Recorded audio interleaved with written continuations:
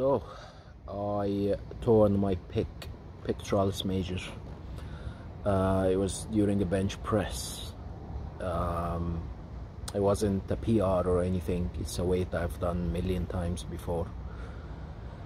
Uh, but uh, it was few days, two or three days after I just recovered from COVID. So I'm assuming it's just probably my body is not recovered yet.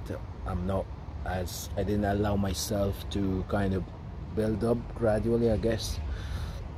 Uh, it was exciting, the weights were going okay, so yeah, it happened.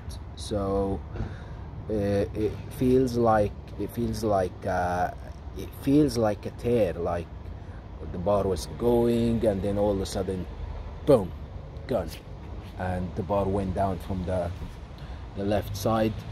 Um, luckily I had a spotter. I don't usually very rarely that I get a spotter. So this time I had someone uh, and actually they had to get other people to lift the weight. It was 115 kilos.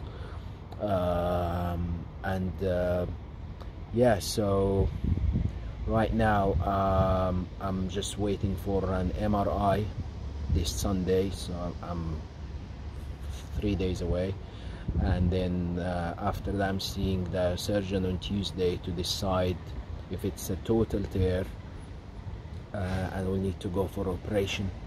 So um, follow um, if you want to follow the, the my process and the, the, journey to recovery. So please uh, subscribe and uh, stay tuned for updates. I'll be posting updates every couple days or so. Thank you guys